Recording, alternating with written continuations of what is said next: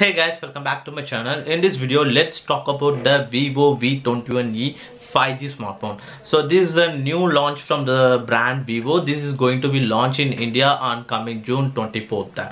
Well, in this video, we'll talk about the Vivo V21e smartphone specs and its price segment. Also, let's compare this Vivo V21e smartphone with the earlier version of the Vivo V21 smartphone. So that is an upgradable smartphone and the upcoming launch Vivo V21 is the lower uh, lower grade smartphone compared to the Vivo V21. So we will see the top 5 differences between the Vivo V21 and then Vivo V21 smartphone in this video. Well, first of all, let's talk about the Vivo V21 smartphone specs and price segment. So firstly, this Vivo V20 smartphone will launch in two color variants. One is a blue and then a sunset color variant. Actually, there is a size and weight differences between these both color variants. So the Vivo V21e blue color model comes with a 7.67 mm of a thickness and 165 grams of overall weight. And then the sunset color variants will comes with a 7.79 mm of a thickness and 167 grams of overall weight.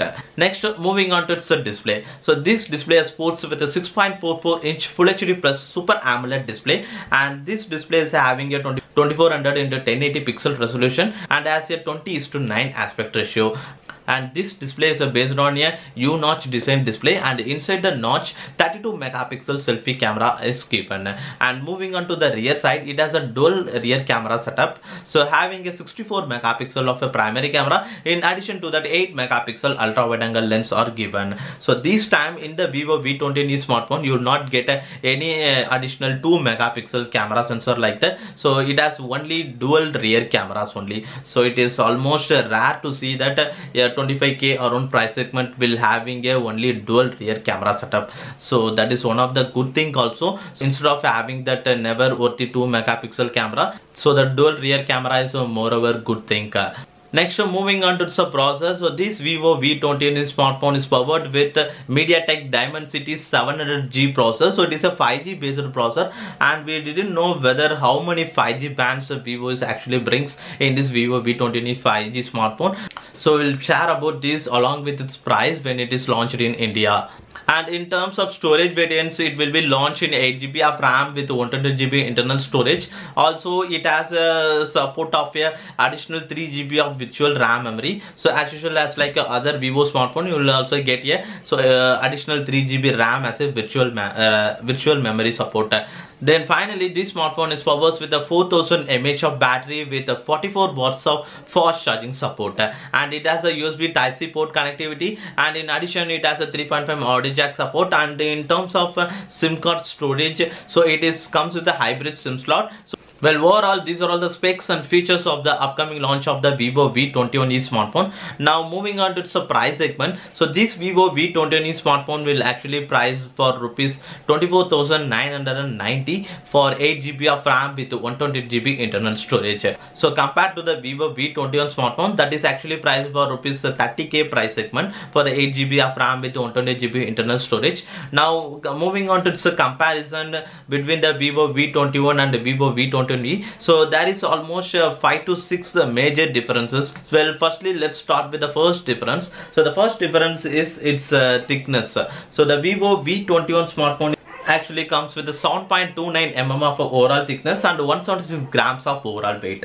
But the upcoming Vivo V20 smartphone comes with a 7.67 mm of a thickness and 165 grams of overall weight. The second major difference is its display. The both the displays having a 6.44 inches size of display, but in the Vivo V21 smartphone you will get a 90 Hz of screen refresh rate, also HDR10 plus support.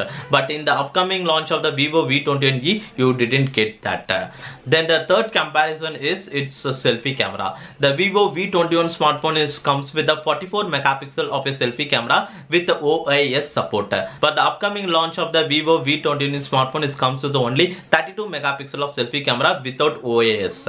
Now the next fourth major difference is on the rear side camera. The Vivo V21s comes with a triple camera setup 64 megapixel plus 8 megapixel plus 2 megapixel camera setup. But in the Vivo V21 smartphone you will get only dual rear camera setup 64 megapixel plus 8 megapixel only. And the fifth major difference is its processor. The Vivo V21 is uh, powered with a MediaTek Dimensity 800U 5G based processor but the Vivo V21 is powered with a MediaTek Dimensity 700G 5G processor. And the final major difference is the Vivo V21 smartphone is comes with a 4000 4000 uh, mAh battery with 33 watts of fast charging support. But the upcoming launch of the Vivo V21 is comes with the same 4000 mAh of battery but having a 44 watts of fast charging support now these are all the major differences between the vivo v21 and then vivo v21e smartphone. Now what are your guys thoughts on these uh, differences? And uh, actually in terms of price also there is only uh, around the rupees 5000 price difference. The vivo v21 is actually priced for rupees 30k but and the vivo v21 will be, will be priced for around the rupees 25k price segment. Well overall that's all about this video guys. Now what are your guys thoughts on this vivo v21e smartphone? Let me know in the comment section below. And in my point of of view this vivo v21 it's almost good in this price segment. But compared with other smartphones in this price segment so there is a redmi note 10 pro max smartphone that is having a, super amoled display with the 120 refresh rate and is having a 108 megapixel of samsung gw2 camera sensor.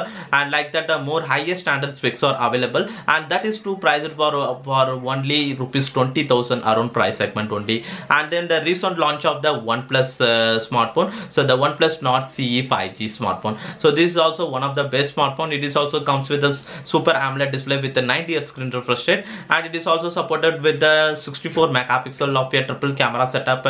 But the one thing is that in the OnePlus Nord CE 5G smartphone you'll get only 30 watts of fast charging support. But in the Vivo V21e you will get a 44 megapixel of fast charging support.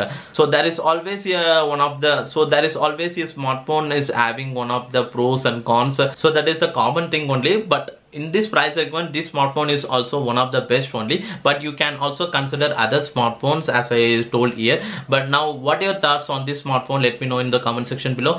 And in case if you are having any other smartphone suggestion compared to this smartphone let me know that also in the comment section below. And that's all about this video guys. And hopefully if you guys like this video hit the like button. And if you guys like to watch my upcoming videos hit the subscribe button below. And thanks for watching this video guys